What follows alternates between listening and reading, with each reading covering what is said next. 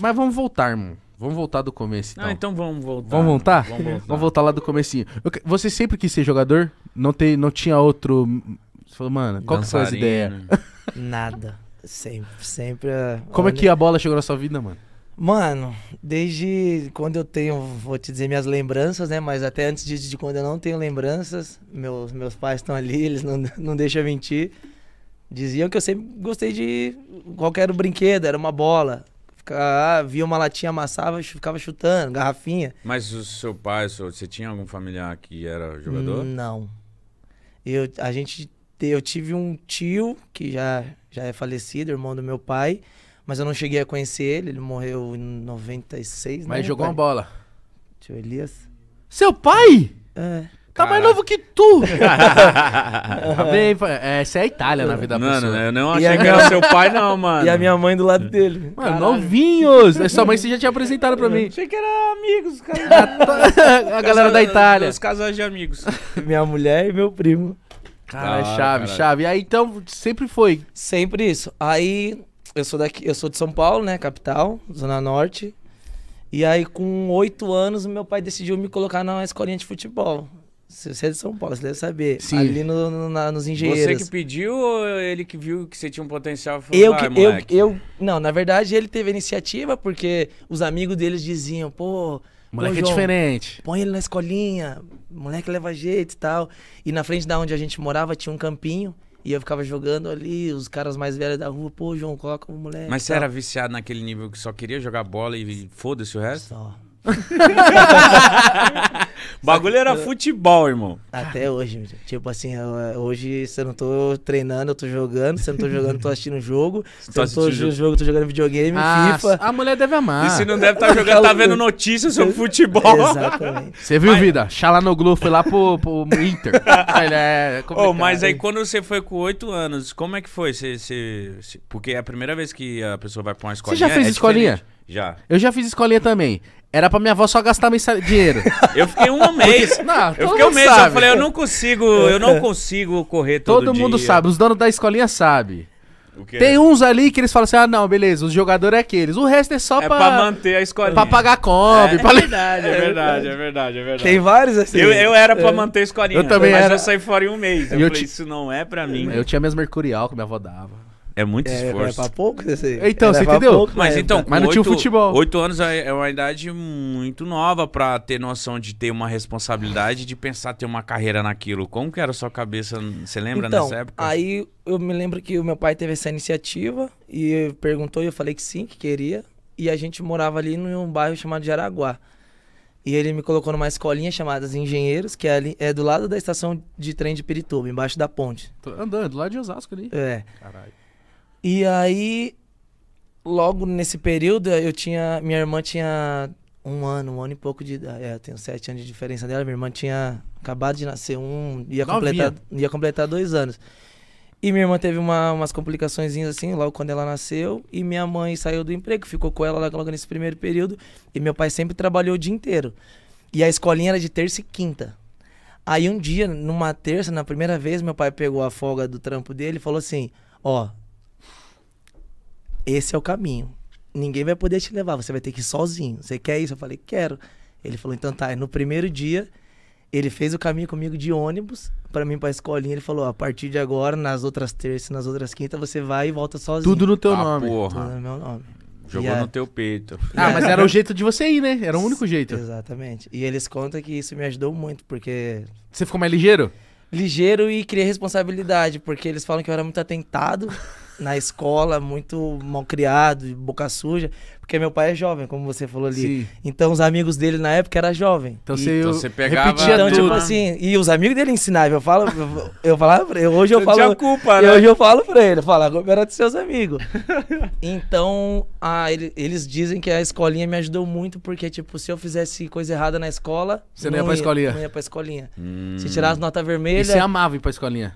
Amava. Mas a escolinha foi. Essa escolinha sua, engenheiros, foi uma escolinha que realmente te deu base pra você ir melhorando e dar seu próximo passo? Ou não? Foi um lugar que você passou um tempo?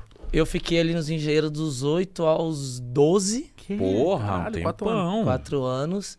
E porque eu só jogava na escola ou nesse campinho lá ali na frente de casa, ou na rua com os moleques, rua de cima contra a rua de baixo, esses negócios.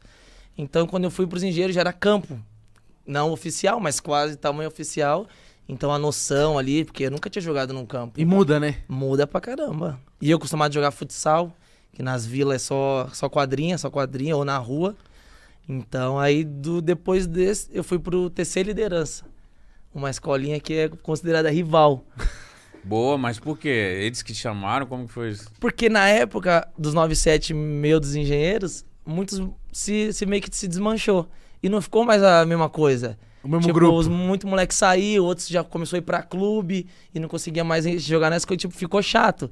E aí foi entrando uns moleques que o time não tava legal, e eu falei, e o TC ganhando tudo. Ah, vou falar. TC na rua de cima, Cuebla levava tudo. Aí eu fui pro. Aí eu fui. Ah, ligeiro. Aí eu, eu fui pro TC Liderança. E aí foi daí do TC que eu fui pro meu primeiro clube. Nossa, mentira que ele devia tirar onda na rua, na escola. Por quê? Porque o cara que é sempre o dos primeiros a ser escolhido pro futebol, ele tira a onda Tira com os onda. outros. Mas aí, você demorou quanto tempo no, nesse, no TC pra ir pra um clube? No TC eu fiquei um ano e pouco. Dois anos, na verdade. Que aí, quando eu tava com 14, aí que eu faço, eu faço final do ano, aniversário. Com 14. Peraí, peraí, peraí. Mas como que fica a cabeça do jogador tá com essa idade? Você fica todo dia. Você tava vai- acreditando que você ia ser vai, profissional? É, você, você vai treinar e você fica, mano, tem algum olheiro, alguém vai me ver. É essa a expectativa que É, fica? é que nessa época era dif- dif- diferente, difícil, porque eu não tinha ninguém. Eu e meu pai e minha, minha família, a gente não tinha ninguém. Era. Só ir. Meu pai me, mant- é, me dava as condições, meus pais de eu ir, porque eu gostava. Mas se eu te disser que naquela época eu ia ser o que eu sou hoje, eu vou estar mentindo. Ali eu queria, tipo, chegar num clube grande, de Expressão. de, de expressão ali de base. Porque eu já tinha amigos que já estavam. Já tinha David Neres, ele era da minha escolinha, ele já tava no São Paulo. Tinha outros que já tava no Barueri, que na David Neres sempre foi bonitinho assim? Não, se- sempre foi aquela latinha estragada dele. Eu amo ele, mano. Vocês, eram da mesma sala? A gente era da mesma escolinha de futebol. Ah, da mesma Caraca, escolinha. da mesma escolinha. hora, mano. A gente E aí jogava- já tava, ele já tava no São Paulo? E aí ele já tava com do- 10, 11 anos, ele já tava no São Paulo. mas Então, tipo, é ele era, diferente também, ele né? era a nossa Referência. inspiração. Todo mundo queria chegar num clube igual a gente, o apelido dele era Todinho na época. Mas ele novinho já era muito diferente, né, Muito irmão? diferente. Eu, eliminei- eu- a gente era 9-7. Ele já jogava com os 9-5. Porra. Juro, Caralho! Juro por Deus. Ele, era, ele sempre foi muito diferente. Então com 11 ele tava jogando com os moleques de 13 de já. 13, que já era, tipo, era muita coisa. Já muito mais forte. É, ele já era muita coisa. Então, quando chegou a proposta de time, como que foi pra você? Qual foi? Como que foi? De Não, base. aí, nesse período que eu já tava no TC com 14 anos, é que aí começou, que aí lá no TC os caras começou a mandar a molecada pros testes. Tipo, ó, teste, tinha teste no Juventus, da Moca, teste no Barueri, ah, tem um teste no Atlético Sorocaba. E aí, o meu surgiu no Nacional. Ali da frente do São Paulo e do Palmeiras, sabe? Nacionalzinho da, da Barra Funda. E aí, os caras falaram, ó, peneirão. Peneirão, toda segunda, era de tarde, depois do almoço. Muita era- gente. Como que funcionava esse peneirão? aí? Explica aí, Mano. porque tem uma galera que não tem ideia de como que É é uma porque você meteu um peneirão, eu imaginei que é tipo um. Porque tem Puta dois merda. níveis de teste, né, ô Mítico? Um que o seu empresário vai falar assim, Mítico, você vai treinar com os caras do, do Sassuolo. Você vai treinar com os caras que é do time. Praticamente tá dentro, né? Tá, é. Agora tem uns que foi esse aí que eu fiz, o primeiro, que é tipo, eu cheguei lá na Barra Funda, uns 200 moleque. Nossa. E lá no Nacional tinha muitos campos, Que né? horas isso? Isso era depois da escola, porque eu já estava de manhã, tinha que estar ali duas horas da tarde. Solzão estralando. Solzão estralando. Você e tinha três minutos, ou nem isso pra mostrar É, seu é, futebol. é isso. no máximo 10. Você tocava no máximo 10 minutos de jogo. E se não pegar e na bola, fora- não fora lançou. que Você todo se nem mundo- tocava na bola. Fora que os caras tudo fominha, não queria mostrar Exato. serviço, né? É E não isso. passava a bola. Deve ser muito foda isso. Aí eu fui na primeira, joguei esses 10 minutos e tal. Foi Ah, bom? Foi, mas foi mais ou menos. Não fiz muita coisa, mas aí a gente tinha que esperar, porque aí acabava todos os moleques que fizeram o período e aí o cara dizia quem ia voltar na outra segunda. Ai, cara. Então, tipo, chegava ali uma e meia da tarde, saía dali 5 horas da tarde. Não, e que agonia, né? Você podia ir embora feliz ou chorando. Ou chorando. Tinha muitos que eu vi muitos indo chorando. Mas nessa primeira peneira, você já passou pra outra peneira? Aí eu, quando a gente chegou no final, o cara foi selecionando quem ia voltar na próxima segunda. Eu tava na próxima segunda. E eu fiz quatro segunda-feiras até chegar no grupo. Nossa, então você lutou, hein, filho? Qua- Eu passava uma segunda, ele volta. E pra sua posição, tinha muitos? Tinha, porque nessa época eu não jogava de volante, eu jogava de atacante. então o que mais tem na peneira é atacante. É o que mais tem mesmo. O que mais tem é atacante. Mas aí nas outras peneiras, nos outros treinos eu fui bem, fiz gol. Aí o cara foi mandando voltar. Aí até que ele falou, ó, traz seus documentos, que é, vamos te federar, que você vai jogar o Paulista Sub-15. A partir da semana que vem você já vai treinar com os moleques que já é do grupo. Aí você ficou como? Ah, agora eu sou jogador. Agora eu sou federado. Tinha esse lance, né? Mano, eu lembro na escola, Era. campeonatinho Que de era escola. O quê? onda. Tinha o Edgar, que era goleiro federado do Barueri. Falava, vai, Edgar. É, eu vou jogar na linha. Aqui, ó. o Vou Barueri jogar no nessa gol. época era muito forte. Você é louco, o Barueri tava. Mas o que, era o que time é um formador. jogador assim. federado? Ah, é o, é o cara que já Você- ganha, né, do clube. Não, até os 15 não ganha nada. Ele é- já é considerado profissional Não. federado? Federado é quando você já é inscrito, tem sua Faz inscrição parte, na né? Federação Paulista. O profissional é quando você assina um contrato de um, dois, três anos de duração, que aí você tem que ter carteira de trabalho, eles vão te registrar e você recebe um salário mensal. Mas o federado já tira uma onda.